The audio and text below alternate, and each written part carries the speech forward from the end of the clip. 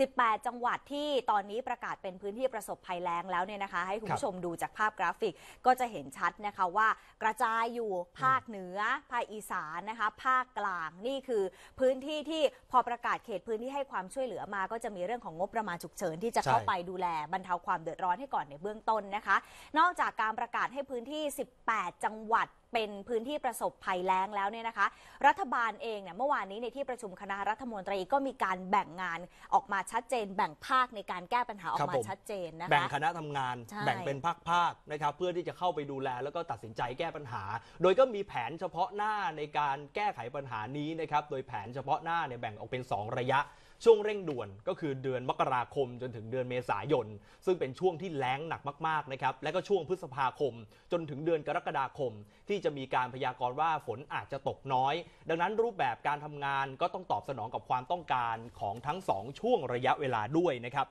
สนับสนุนมาตรการการควบคุมการใช้น้ำเพื่อการเกษตร อความร่วมมือจากเกษตรกรไม่ให้ปิดกั้นลำน้ำหรือสูบน้ำเข้าพื้นที่เพาะปลูก เพื่อลดผลกระทบจากการขาดแคลนน้ำนะครับโดยมีการประสานกับกรมฝนหลวง เพื่อทำฝนหลวงให้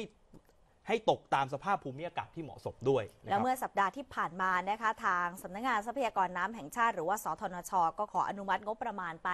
สักประมาณ 3,000 ล้านบาท รวมกับงบกระทรวงที่จะเข้าไปใช้ดูแลในช่วงหน้าแล้งแบบนี้เนี่ยก็อีก 3,000 ล้านบาท คือรวมๆแล้วเนี่ย6,000 กว่าล้านบาทนะคะ 6,000 กว่าล้านบาทที่ได้งบไปเนี่ยเขาจะเอาไปทำหลากหลายโครงการมาก เพื่อเข้าไปบรรเทาความเดือดร้อนให้กับประชาชน ไม่ใช่แค่บรรเทาในระยะฉุกเฉินเท่านั้นยังเป็นการรับมือในระยะยาวด้วยนะคะตั้งกันโครงตั้งเป็นโครงการเอาไว้เนี่ย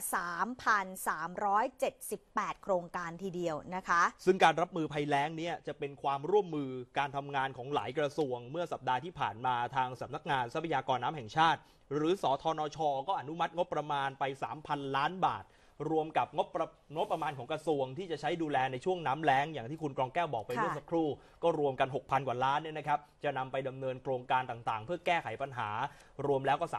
3,300 กว่าโครงการ มีทั้งการจุดขุดเจาะบ่อบาดาล การจัดหาแหล่งน้ำผิวดิน การซ่อมแซมระบบประปา แล้วก็การฟื้นฟูแหล่งน้ำด้วยนะครับ มีการเอาไปจ้างแรงงานนะคะ คือจ้างแบบคนที่อยู่ในพื้นที่เอาไปขุดลอกก็เป็นการสร้างรายได้เสริมให้กับ ใช่ พี่น้องประชาชน พี่น้องเกษตรกรที่ไม่สามารถจะประกอบอาชีพได้ในช่วงที่ไม่มีน้ำแบบนี้นะเพราะคะ ว่าหลายคนก็ต้องหยุดไปใช่ โดยเฉพาะเกษตรกรใช่นะฮะ นะคะก็ต้องจัดหาโครงการเข้าไปช่วยเหลือและอย่างที่เราบอกไปนะคะว่าภาครัฐเองไม่ได้นิ่งนอนใจในการแก้ปัญหาภัยแล้ง มีหลายโครงการที่ทำมาอย่างต่อเนื่อง แต่ว่า